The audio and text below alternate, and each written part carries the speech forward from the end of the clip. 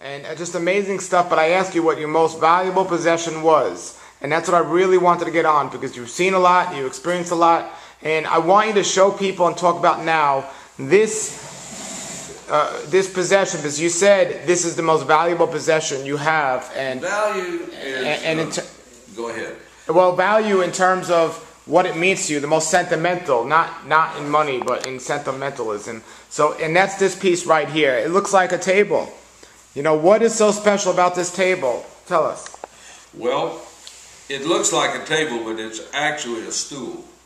For uh, about three centuries in England, children sat on stools like this one, called a joint stool, at the dining room table. And there is a Bible hidden in this stool.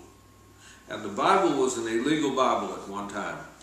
After uh, Henry VIII died and his son died, Mary, Mary Tudor, the daughter, whose nickname Bloody Mary, came into power, and she announced that she was going to rescind or change all the laws that her Protestant, quote, Protestant father had, uh, had passed. And so she was going back to all the old laws, which included uh, no Bibles in English. And so uh, immediately after she became queen, the uh, some of her followers who were zealot uh, church officers called apparitors went out to the Queen's printer, uh, had been the King's printer, and destroyed all the English Bibles that were there. And while they were there, burning the Bibles, they found the list of people who had bought them, the subscription list. And then they went out to everybody's houses. Not everybody on the list. They didn't make it. For about three months, they went out, and there they asked people to, demanded that people uh, give up their Bibles. And when they did, there was no problem. But if they didn't, they would go in and search.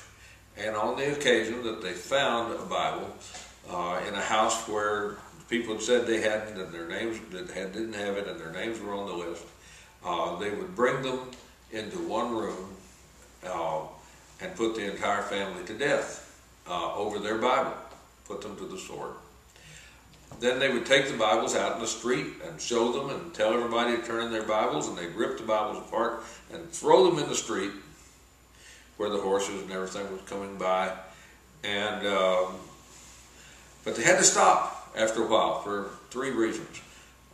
Uh, number one, it's it was illegal to execute people without a trial. But it was a tumultuous time, a bloody time in England, and without a trial, they were killing even children.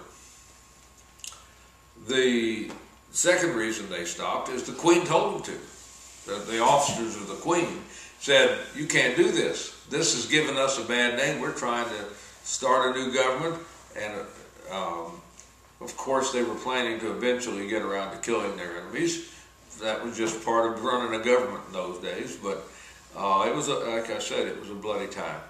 And the third reason was the, the apparitors, the officers would come by a day or two after they'd thrown the Bible parts into the street, all the pages and everything, and they'd all be gone.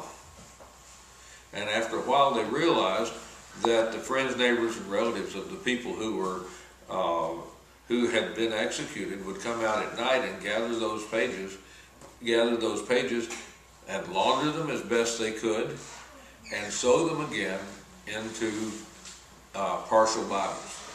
And that now there was a Bible that no one knew where it was. So, this Bible in this stool is one of those Bibles. Now, why is it hidden in a stool? Well, there were lots of way, lots of ways to hide Bibles, but this Bible is just taped loosely in this stool. And there's a story of Henry, not Henry, pardon me, of Benjamin Franklin tells a story in his autobiography about his great great great great grandfather, who in fact um, would every day pick up a joint stool like this that had a Bible hidden in it, and he would turn it uh, and hold it in his lap and read it to his children. wow And every day during the reign of Mary Tudor, he did that. That was a dangerous thing, wasn't it? And so this Bible was printed one year before Mary Tudor came into power. This Bible was printed in 1552 and she became the queen in 1553, so this was an illegal Bible. It is missing one third of its leaves. It is uh, in random sections. It is in a tight binding uh, done during the 1550s and um, it is bloodstained. I'm pretty certain this is one of the Bibles that we just described. Um, so, you know, history is is uh, only as good as we remember it. But here's a Bible that is probably my most precious possession in this world, and uh, uh, I love to read it to people. I read from this Bible. Sometimes when I've just told the story we do, I get someone, I arrange with someone to, to wait outside and when I start reading to knock real loud and come in and say, what's going on in here?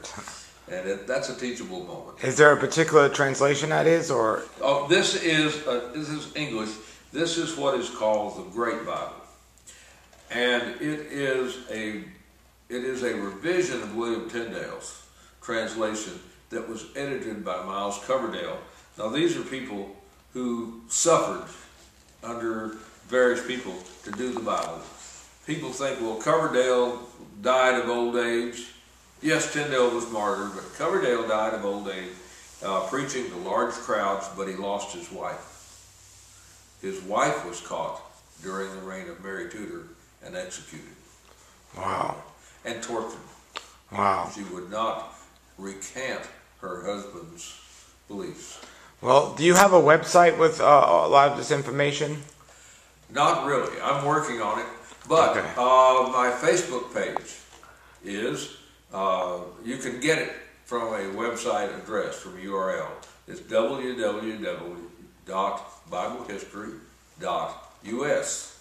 And that will take you to my Enduring Word Museum Facebook page, which I, I look at every few days and make some changes. Okay. There's some films there and things. So BibleHistory.us. BibleHistory.us. Okay, everyone, get to the site, and this is part one. In part two, we're going to actually see some more of the artifacts that you have. You have a little uh, exhibit set up. We'll see that. Uh, but this is amazing. I encourage everyone to get Fox's Books of Martyrs. You can pick it up at any major bookstore. It's a very popular book to just show you how far we've come uh, to get the freedom to have the scriptures and be able to read them openly in public, uh, or even to have them in our house.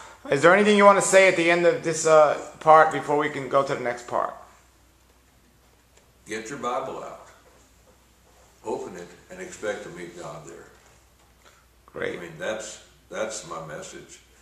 The kingdom of God is at hand, and you can approach the kingdom of God through the Word of God, the written Word of God, if you'll open your heart and as you read and, and ask God to show you what how to understand what you're reading.